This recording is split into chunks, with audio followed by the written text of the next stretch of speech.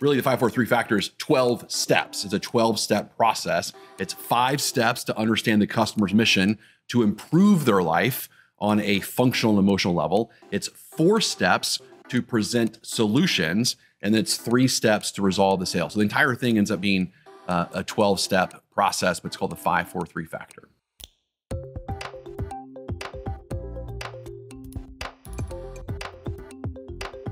Step one is just re- remind yourself the most important thing in selling is, you know, can you get position of strength?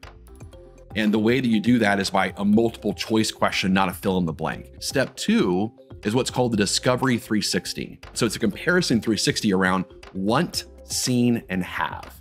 And we have to know all three in order to in order to truly understand the customer and move on to that next step. Step three is very simple, and it's just called the summary vision close. And the summary vision close is really about how do we maximize rapport. And so when rapport is lost, all is lost. Rapport is not talking about the weather or football or rapport is about being on the same page around what is their purpose what is the customer's goal what is their mission what are they trying to accomplish that's what rapport truly is about so number four so the fourth step of the 543 factor is uh, and a really really cool step. Um, it's called categorize the buyer. A true category one buyer is they're looking they're checking things out but they haven't decided to burn the boats yet. A category two buyer is someone that's decided to make a change, but they're overwhelmed with all the options.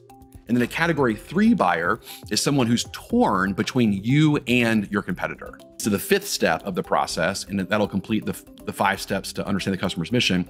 And this is the agenda, but it's the agenda step based on the category. You see, but each one is very specific based on the hmm. category. But you see, if I'm doing that correctly, I'm still in rapport with you.